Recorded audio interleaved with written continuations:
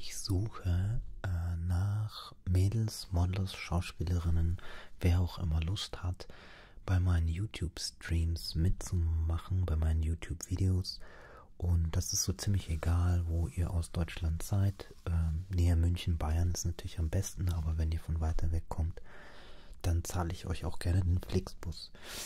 Ähm, ja, worum geht es? Einfach nur Spaß haben, Content kreieren für YouTube. Ähm, wenn es sich so ergibt, äh, dann ähm, kann man das auch öfters machen. Wäre ich sehr froh drüber. Und man redet über alle möglichen Tö Tö Tö Tö Themen. Im Chat kann man auch mitmachen. Ich habe schon wieder ein bisschen Nase zu. Ne? Ich steige aber gleich aufs Fitnessfahrrad. Was für meine Beine tun. Und äh, Manipu macht auch mit.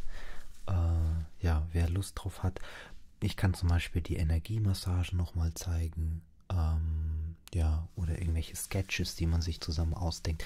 Ich hatte letztens wieder so einen geilen äh, Idee für einen Sketch, aber den konnte ich nicht alleine machen. Ja, deswegen suche ich Leute, die einfach mitmachen wollen. Es wäre natürlich total genial, wenn jemand in der Nähe wohnt und äh, mitmachen will, aber ich mache das auch gerne nur einmal, wenn jemand von weiter weg kommt. Wie gesagt, so die Kosten drumherum, das zahle ich dann kein Problem.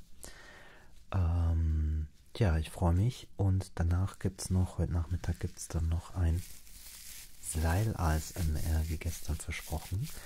Und wenn ihr jemanden kennt, der gerne mitmachen würde, auch so über Skype oder so, also ich habe es am liebsten direkt, wenn die Person da ist, aber auch per Skype. Und äh, da haben sich auch schon ein paar Leute gemeldet. wenn ihr Skype habt, dann ist mein Skype Daniel Travolto, so ein alter Künstlername, den ich hatte. Da kann man mich erreichen. Oder einfach anschreiben per Facebook oder irgendwas, dann klappt das schon.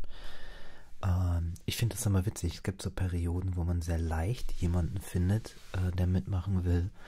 Und dann ist manchmal wieder so Sendepause. Aber ich glaube, das hängt immer so ein bisschen von der Popularität vom Kanal ab. Wenn es jetzt 50.000 Abonnenten oder wären, mehr wären, dann wäre das, glaube ich, überhaupt kein Ding. Aber man muss immer machen, immer versuchen, auf das, was man Spaß hat, was einem Bock macht.